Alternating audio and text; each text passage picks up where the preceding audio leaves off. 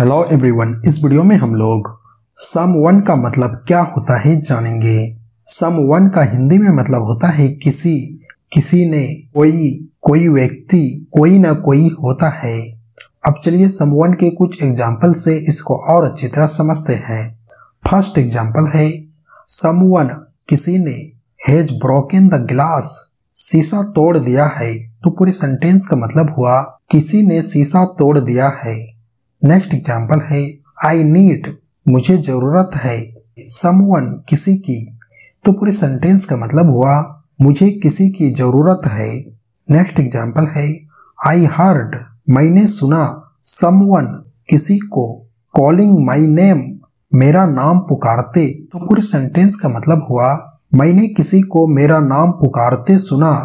Next example है are you waiting क्या आप इंतज़ार कर रहे हैं फॉर समवन स्पेशल किसी खास का? तो पूरे सेंटेंस का मतलब हुआ, क्या आप किसी खास का इंतज़ार कर रहे हैं? आई होप आपको समवन का मतलब समझ में आ गया होगा। और अगर आपने अभी तक हमारे चैनल को सब्सक्राइब नहीं किया तो ज़रूर सब्सक्राइब कर लें। धन्यवाद।